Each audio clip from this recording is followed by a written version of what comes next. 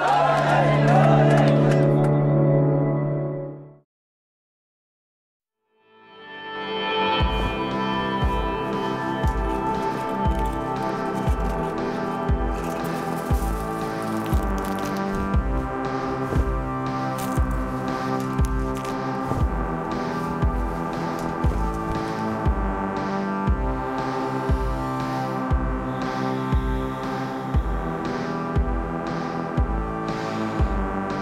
We all have a voice that wants to be heard.